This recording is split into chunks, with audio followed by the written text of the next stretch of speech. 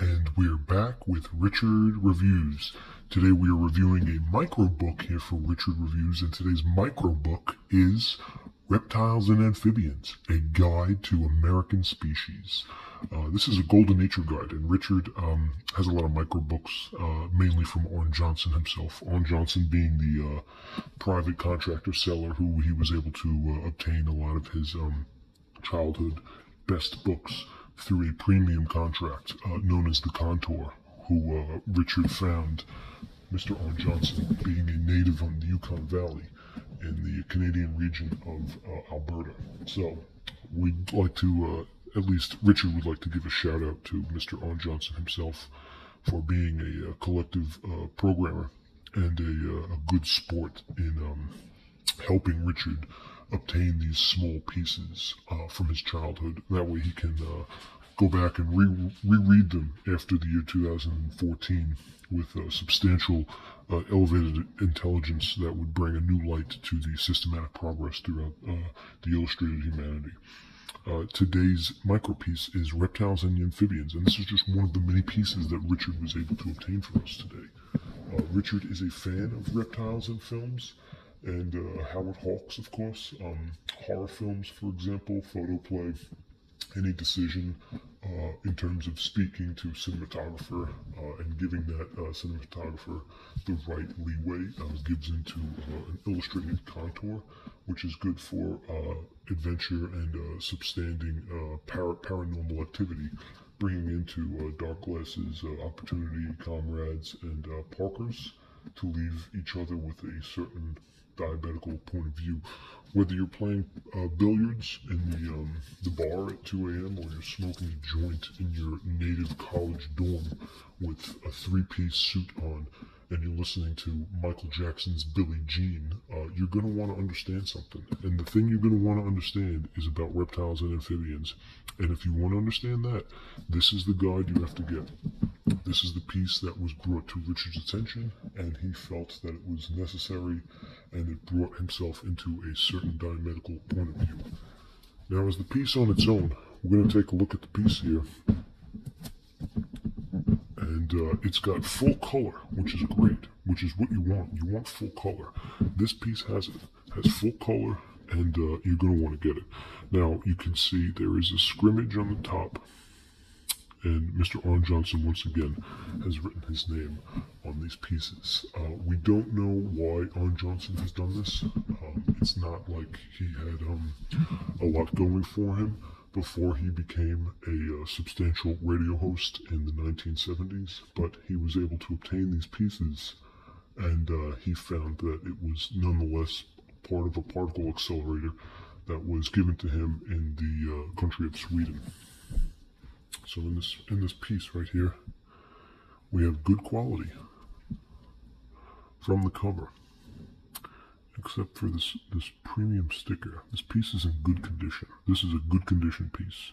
Up here in the corner we have the price 125 So it has 212 species in full color. So once again, another full color translation guide. I'm going to get into everything on the corner.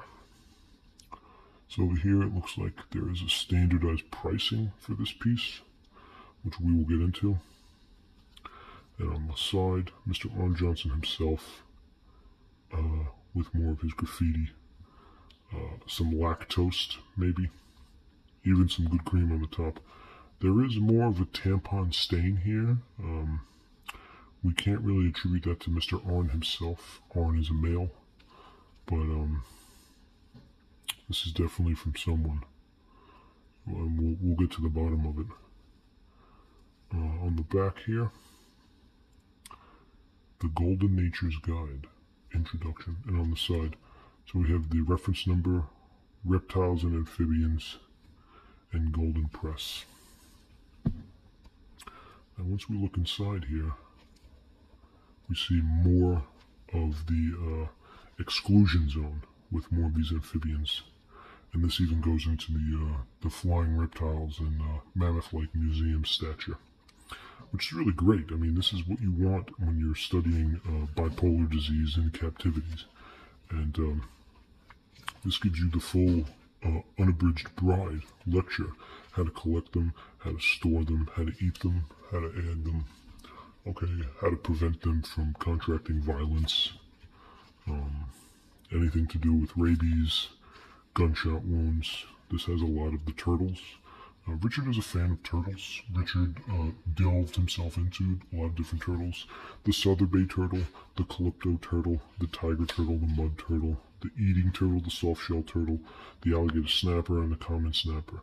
And it even shows you on the bottom where they're located in uh, variation to the shimmer or the um, left linguini uh, ration area from uh, Louisiana, uh, known as the shimmer. Uh, Natalie Portman uh, starred in Annihilation, where she entered the Shimmer in 2018 with uh, Oscar Isaac. And uh, it's just a really sad ending, but you can imagine what they were thinking about before they entered the Shimmer. And this even goes into map turtles, which um, can show different things between the Swamp Things, Commando, Rambo, and Die Hard. And uh, these are all great movies, sure, but the one thing that they don't have in common is uh, John Carpenter, who uh, was able to uh, follow through with his uh, substantial evidence of uh, Blackwater and uh, the nation's guide to catastrophic events. So this really gets into all the colored variations. So far, every single page has been color oriented. And we have to thank Mr. Arn Johnson for that. Uh, this is the end for the Bridgewater Medical. And uh, Mr. Arn Johnson was able to keep these pieces in decent shape.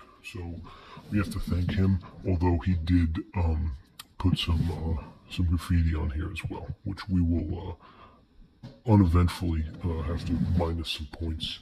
Um, but that is neither here. It's a formation of Gothic imprintation and uh, some stands of themes and different types of uh, and aquatic species.